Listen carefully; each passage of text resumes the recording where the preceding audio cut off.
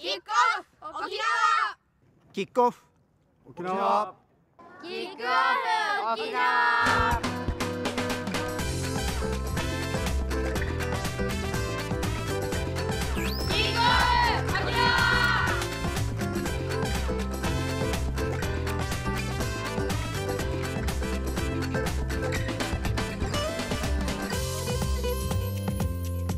こんにちは。こんにちは。沖縄のサッカー界を熱く盛り上げる番組キックオフ沖縄。MC の鎌田博夢です。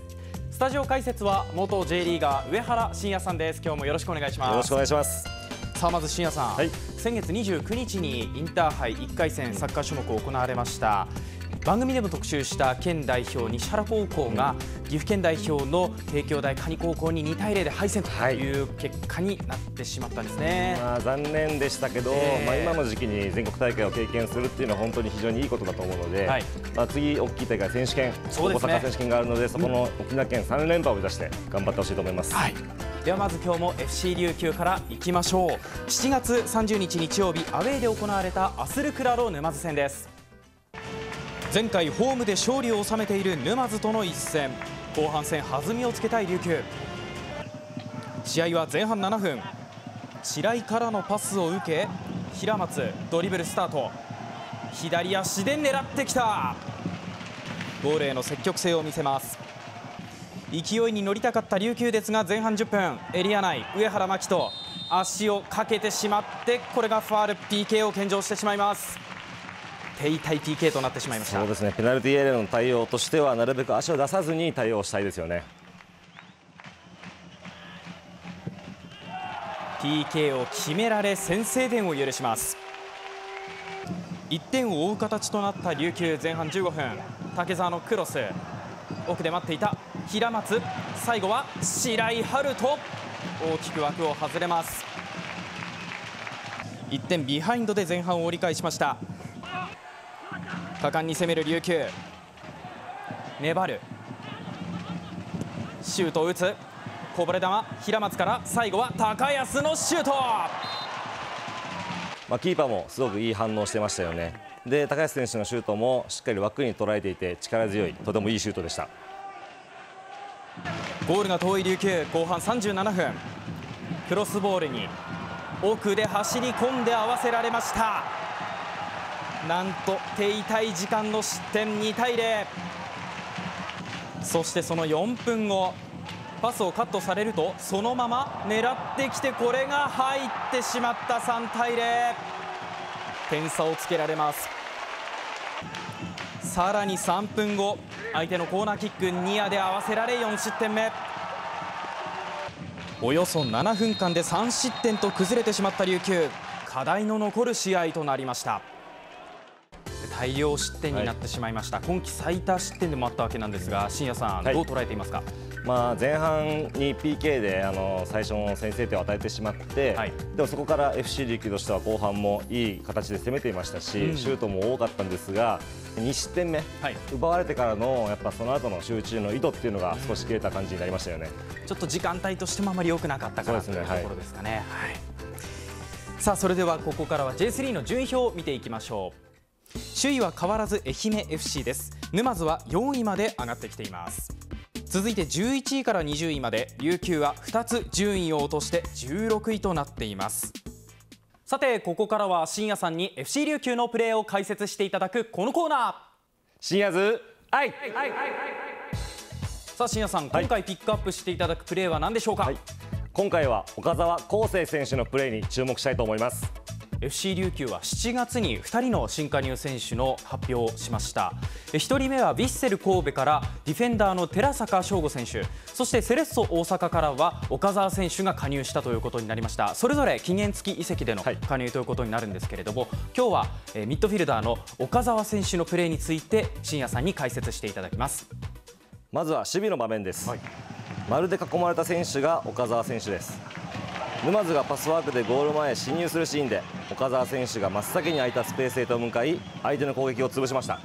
相手の攻撃を予測する引き察知能力の高さを証明するシーンで出足の鋭さとともに相手に隙を与えない瞬時のプレーが早速光りました。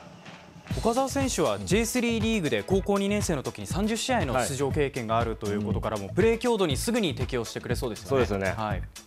次に攻撃の場面ですが、はい。後ろでつないでいる時岡澤選手が前の状況を確認しています。そしてパスを出した瞬間この空いたスペースへ入り込みチャンスメイクをしました。はい、このようなスペースの使い方も岡澤選手の特徴の一つと言えます攻守における判断力と、それから躊躇のないプレーと勘の鋭さ、そういったプレーが目に見えたシーンでしたね。まだ加入間もないのであの選手とすり合わせをする時間も必要なんですが、はい。これからに本当に期待したいと思います、今回の新ヤズアイは新加入岡澤康生選手の特徴についてお話ししてもらいました。キックオフ沖縄この後も続きます。キックオフ沖縄シーズン後半戦に入ったサッカー J3 リーグ FC 琉球木名哲弘監督に単独インタビューを行いました。そちらご覧いただきます。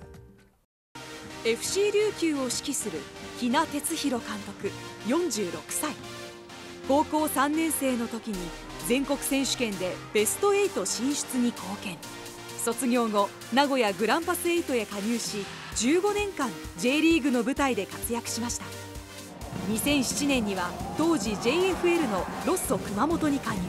ボランチでプレーし大黒柱として存在感を示しました。そして現役引退後 FC 琉球のコーチに就任。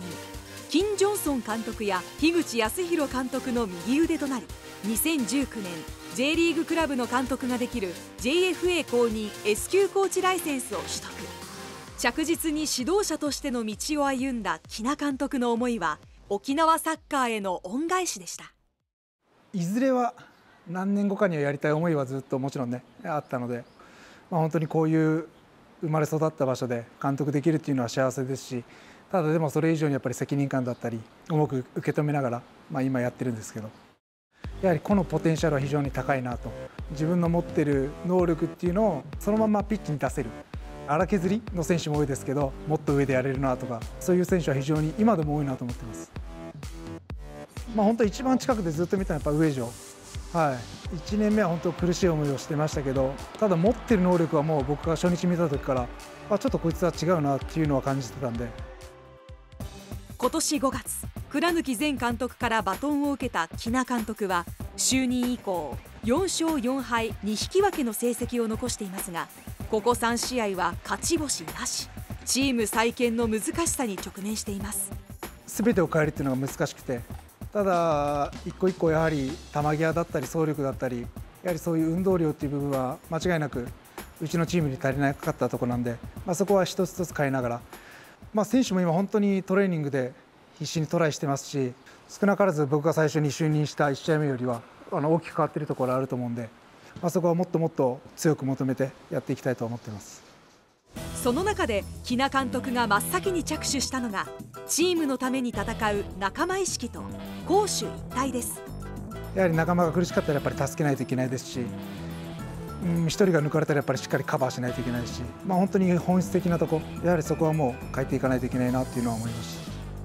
そして YS 横浜戦で上原選手の見せたプレーを例に挙げやはりあれだけゴール前で体を張って奪ったボールを短時間でどれだけ相手のゴールに向かうかっていうのは非常に重要なところで、まあ、あれこそ本当攻守一体で、まあ、その後にも後ろの選手もつながってたんで後半戦に向けてもっと多くシーンを出したいと思います。はい容易ではない16位からの巻き返し残り18試合を一戦必勝で挑むと指揮官は語ります。もう本当にもう決勝トーナメントのつもりでやらないといけないと思いますしそこはもう選手にも伝えてます。あの本当に簡単なゲームは一つもないと。誰一人諦め諦めてる選手いないですし、まあ、そこは本当に自分の使命だと思ってるんで、まあ、最後に本当に笑顔で笑えるように全員で、まあ、そこに向けてやってます。はい。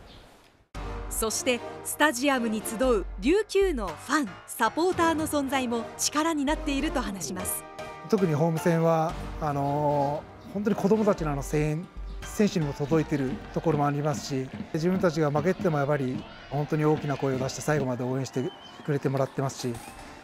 まあ、それをよりピッチで結果でも返さないといけないなというのは強く思っています。本当にダメなものは今ダメって言ってくれますし自分たちにとって本当にありがたいことですし、まあ、それは選手にとってプラスだと思うんで、まあ、部員が OK ではないですけど思ったことはどんどん僕たちにもそうですし選手にもそこはもう伝えてほしいなと思います。期待とプレッシャーを背負いながら挑戦心を燃やす木名監督。ファンサポーターと一体となって J2 への扉を開ける戦いはこれからも続きます。将来を担う子どもたちのためにもそうですし沖縄サッカー界のためにもそうですしやはりどうしても必ず J2 にはもう昇格しないといけないのは、えー、分かってますし、まあ、そのためにも本当に簡単な試合も1試合もない中でどんな苦しい場面でも最後まで、えー、諦めずに戦うっていうところが僕はもう昇格につながってくると思うんで引き続き応援よろしくお願いします。新谷さんも去年、木南監督の下でサッカーをしてますよね、はい、どんな監督でした？もちろん練習中はピリッとした雰囲気を作ってくれる監督ですし、はい、まあ、練習後はあの選手と一緒に話をしたりとか、うん、気さくに話しかけてくれる監督だし、まあ、あとはあの本当に沖縄のこと、うん、沖縄のサッカー界のために本当に考えてくれるそんな監督でしたね。熱い思いが VTR にも出ていましたね、はい、今後、キナサッカーがどう発展していくのか注目です。その FC 琉球は今日この後アウェーでバンラーレ八戸と対戦します深夜さんこの試合着目するポイントを教えてください。やはりあの2回目の戦いということで相手もリベンジしてきますし前節沼津戦で大敗してしまってますので、ね、アウェーですけど勝ち点3を取って帰ってきてほしいですね。ぜひ勝利してほしいなと思います。番組への感想皆さんからお待ちしていますよ。え公式ホームページ SNS でお待ちしています。つぶやく際はすべてカタカナでハッシュタグキックオフ沖縄とつけてつぶやいてください今日ここまでのスタジオ解説は元 J リーガー上原慎也さんでした。ありがとうございました。ありがとうございました。キックオフ沖縄。また来週です